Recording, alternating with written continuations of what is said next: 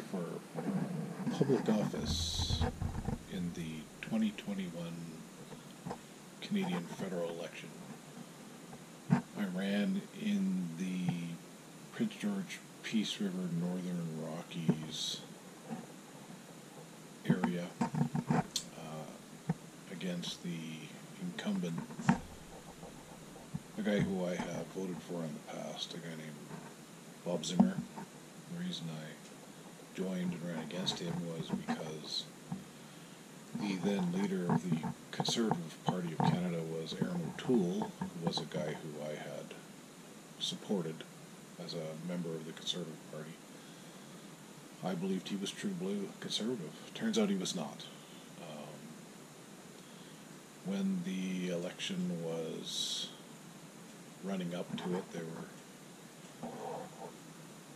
Erin O'Toole came out in favor of carbon tax. The carbon tax is a liberal construct, deeply flawed. It's easy to prove that liberals do not care about the environment. The only green thing they love is the green they can pull out of your wallet with their scammy policies. Hmm.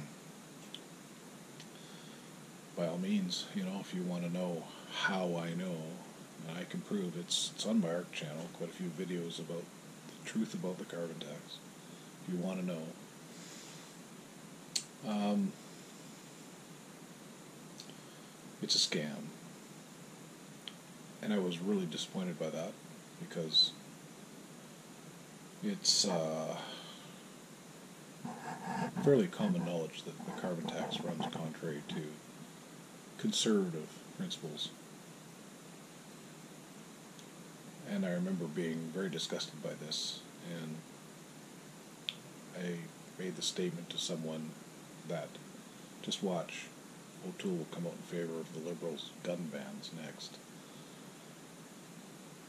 And I nailed that one. Um, the next day he did just that, and that's when I decided that I was going to try to run for public office. So I uh, was fortunate enough to be endorsed by the Canadian Fourth Front, uh, which is a party that believes in direct democracy, and, and uh, I believe in democracy, and uh, having democracy and restored in Canada seems like a very worthwhile pursuit. And uh, anyway, um, I got the endorsements. I qualified. I participated in three or four uh, online Zoom type meetings that were candidates' debates. when the issue of COVID lockdowns, COVID policy came up, my audio was cut. I was not allowed to speak to that issue. The only people that were allowed to speak were people who had both been vaccinated and who were fully supportive of vaccination. I was not. I had very good reason not to be.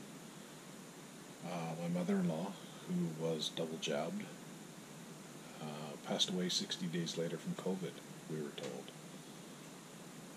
Uh, the alarm bells went off for me. And uh, to be clear, um, am anti vax. I never got any of the flu shots, ever. I don't like getting injections. I don't trust the government. And um, I believed that I was better off with my natural immunity. I believed I was better off if I just tried to stay as healthy as I could by eating properly and eating healthy and and um, trying to you know stay in some level of physical condition. You know. Uh, and that worked out for me, even though I do have some health issues. I have a disability. I was pushed out of the workforce in 2007 because of it. But uh, truth is, I'm not a politician. And uh, anyway, what I saw was corruption. I mean, I knew we had corruption, gross corruption in Canada, but I saw it at a level that was sickening, to say the least. Um, and uh, when it was all said and done, I got like 62 votes, I believe, when the tally was in. So suffice to say, I didn't do very well, but I did manage to uh, talk to Bob Zimmer, uh, tore a strip off him a couple times on some of the things that he's done because he fully supported Erin O'Toole. He's a who is a liberal, acts just like a liberal, smells like a liberal, walks like a liberal, must be a liberal, and um, Bob acts a lot like a liberal as well. Throughout this whole COVID thing, the conservatives were very silent, very quiet. They had nothing to say.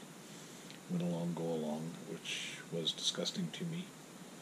They are the official opposition, and it was their job to oppose the government and at least question things, you know, do a little digging. It wasn't that hard to find alternative views. One that I found, one of the most qualified doctors in Canada, Dr. Roger Hodkinson, stated that this is the science on masking. Holes in mask are 3 micron, the virus are 1 micron. Trying to use a mask to stop a virus is equivalent to using a hockey net to stop mosquitoes. That's the science, those are the facts.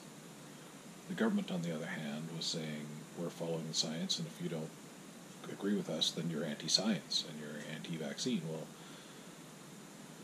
it's never been a crime to be anti-vaccine, and I don't know why it is now.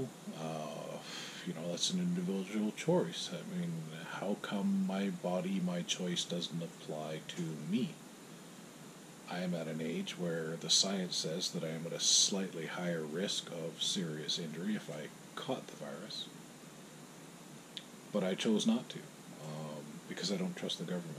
Because I dug around on the internet and I found very good cause. I know who's behind these vaccines, I know who developed them, and I know what's in them, and uh, I like my DNA just the way it is. Thank you very much. And uh, I ran for public office. I was not successful. It was an experience. Um, there was a few highlights, but it was not the highlight of my life. It was a major pain in the ass, to, to, to tell you the truth.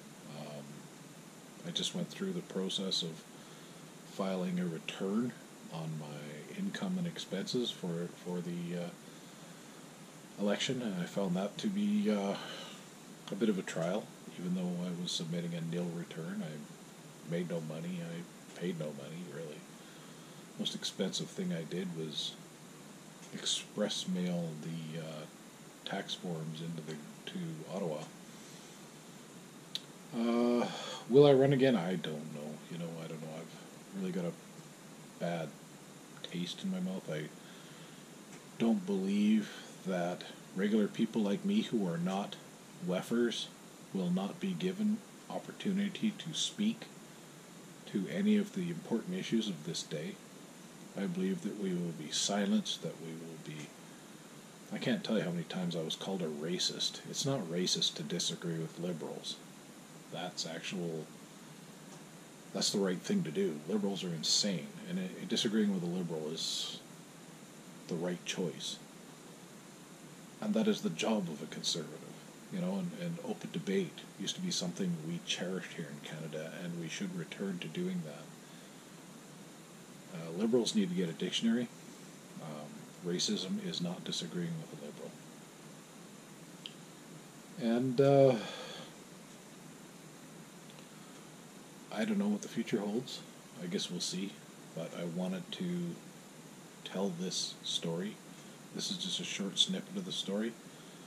My family paid a, a really heavy price for the policies, failed policies, disgusting anti science policies of the Liberals. Um, and we're still paying that price and I don't know if we'll ever recover from the harms that have been done to my family. And um, I could go into detail on that, but I'm not going to do that right now. Uh, if if requested, if people want to know the more personal story, I will tell that story. Um,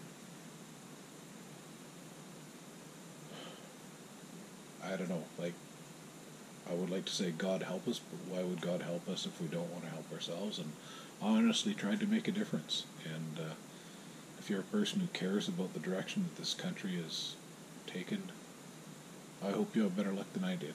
Um, you know, I'm not a WEFer. I'm not a globalist.